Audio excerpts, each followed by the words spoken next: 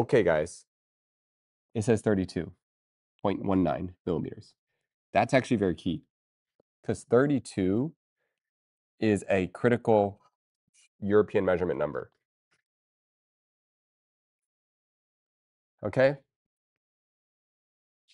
32 is a very useful number. So likely this is 32. So likely this is millimeters. Okay?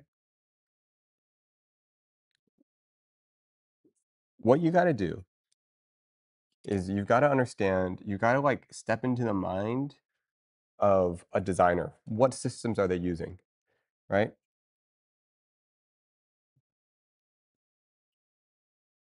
Um, 32 powers all computing. Okay, yes, that's true. But Fubot, can you explain why 32 is important in furniture making? In millimeters, 32 millimeters. 32 is a magic system in furniture. Nate uses for Euro hinges, shelf pins, precision hole spacing for cabinet drawers, etc. Keeps everything in modular and pro level. Wow, that's actually spot on. Okay, so, wow, Fubot actually knows. Only smart one here.